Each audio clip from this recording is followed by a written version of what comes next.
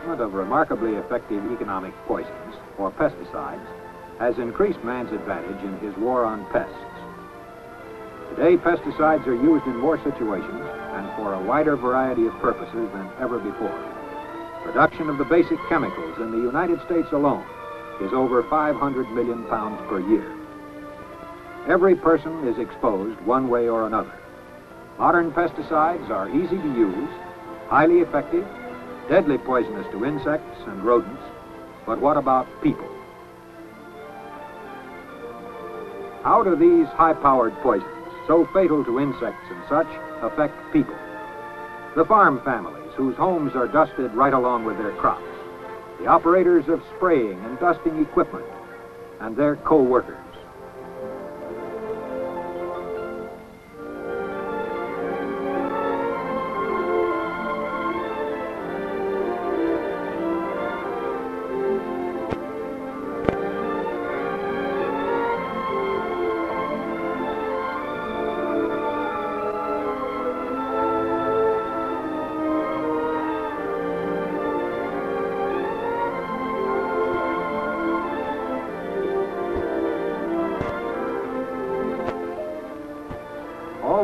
People undergo some degree of exposure to powerful poisons in the normal performance of their jobs.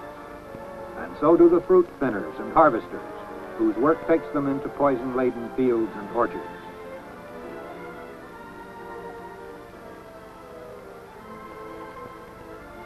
And what about all of us, who must eat food that has been treated by poisonous sprays and dusts? Just what are pesticides doing to people?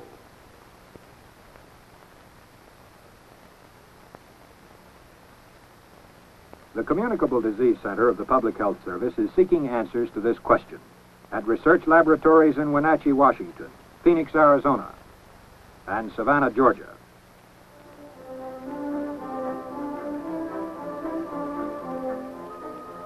The concern of these laboratories is to find out how poisonous these pesticides are, the way they act, and the types of injury they can cause. To learn the clinical symptoms and the course of illness from poisoning. To develop and test antidotes, and to determine what precautionary measures are needed for safe use of pesticides. Here, each new economic poison is subjected to exhaustive studies. Tests devised and carried out by trained research workers, utilizing an impressive array of unique tools and equipment.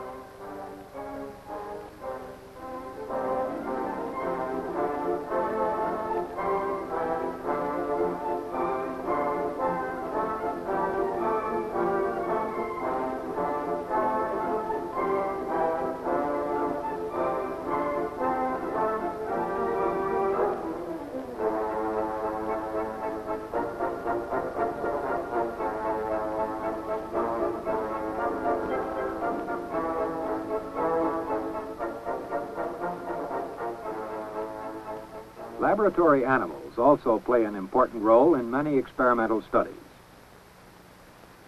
From controlled studies of animals comes valuable information on the immediate and long-range effects of pesticides, the relative safety or danger of different amounts of exposure,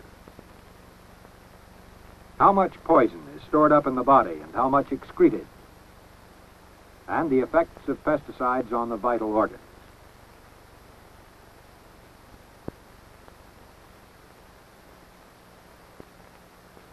Experimental techniques and the kind of animal most suited for study may differ with each specific compound. But most pesticides in wide use today fall into one of two general groups according to the reaction they produce. DDT, the most widely used of all economic poisons, is representative of one of these groups. These poisons are slow in taking effect, but may remain active and potentially dangerous for many days or weeks. In this particular experiment, small, carefully measured doses of DDT are fed regularly to laboratory rats.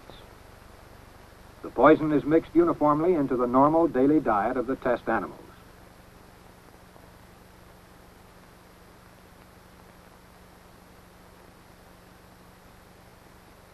Since DDT is slow acting, The way it is stored in the body tissues and the results of this accumulation can be studied over a long period of time. Tetraethyl pyrophosphate, TEP for short, is a typical member of the other group of pesticides. These act rapidly, but either evaporate or break down into harmless compounds in a very short time. As this demonstration shows, a single drop of TEP in the eye can be fatal.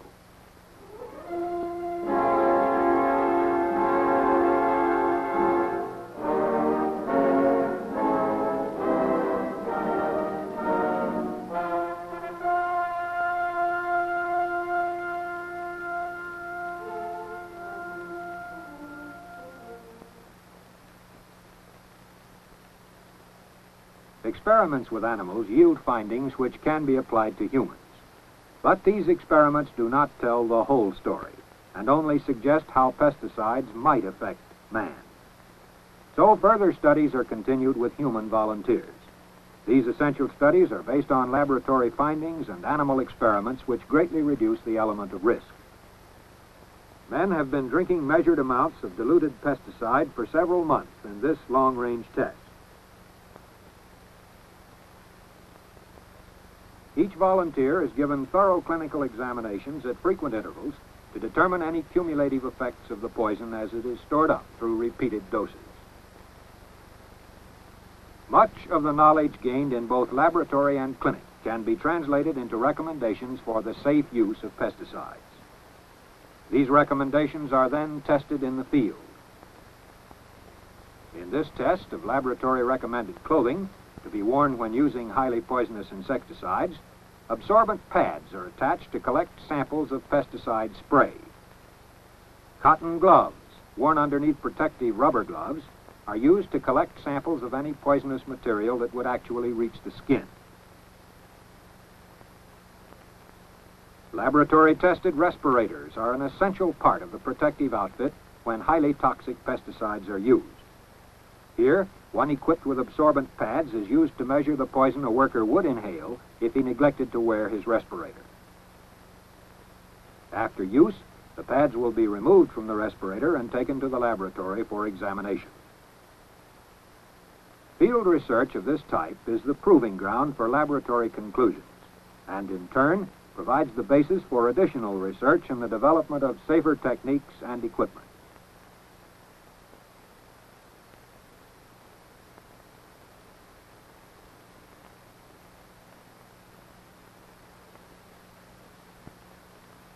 At the conclusion of each test, underclothing, cotton gloves, and absorbent pads are carefully removed and turned over to the laboratory for examination.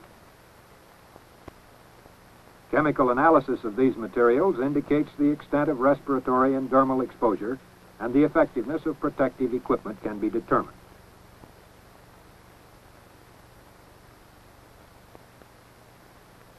A quite different method is used to determine exposure to residential areas during extensive spray operations. Air samples trapped by special equipment and analyzed chemically measure pesticide concentrations at any given site. In companion studies, samples of fruit, vegetables, and other food products are collected and analyzed for poisonous residue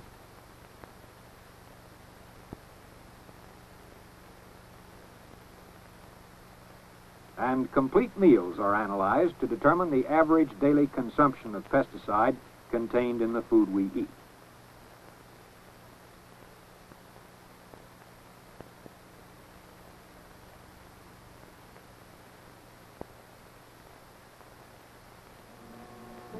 Additional contributions to the understanding of pesticides, impossible to obtain otherwise, are made by victims of severe accidental exposure.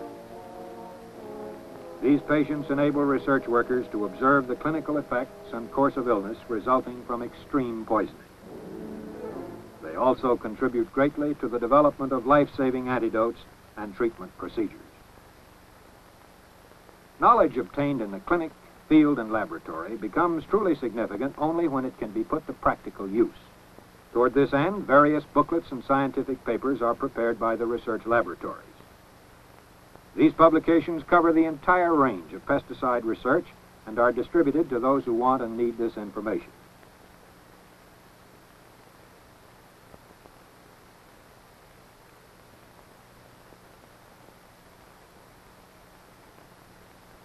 The most generally used publication, called Clinical Memoranda on Economic Poisons, is available through the government printing office. Consultation is a service often requested and supplied to state health and agriculture departments, county agents, physicians, and many others who need expert advice on pesticides. In addition, questions and requests for special information sent in by the general public are answered through personal correspondence. And although our knowledge of pesticides is still incomplete, research has given some of the answers, making economic poisons safer to use. Directions for the proper use of pesticides, based on research findings, are clearly stated on each container as required by federal law. The nature and amount of poisonous material must be given, as well as warnings against specific misuses. Dangers are pointed out, and if the formula is highly poisonous, antidotes are listed. When these instructions are followed and pesticides are handled with common sense caution at all times, cases of poisoning are extremely rare.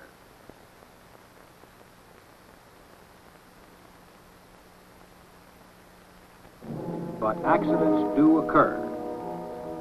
And it is important that the user of pesticides know what to do in any emergency. Even more important is the prevention of accidents. Many cases of accidental poisoning can be avoided if pesticides are stored where they are accessible only to those qualified to use them and kept under lock and key. Empty containers are always dangerous, especially to children and livestock, and should be destroyed as soon as they are emptied. During widespread applications, nearby homeowners must be notified and fields and orchards cleared of all workers other than equipment operators. Harvesters and other workers can return after allowing enough time so that the particular poison used is no longer a health hazard. When label directions are followed, the residue on foods treated with economic poisons becomes harmless before harvesting and offers no threat to the ultimate consumer. Pesticide research is helping us to understand economic poisons. We're learning how to use them safely and without needless fear. But the work of the Public Health Service and other agencies engaged in similar research must go on. For there is still much to learn about pesticides now available, and each year will bring new compounds which must be studied carefully before they are released for general use.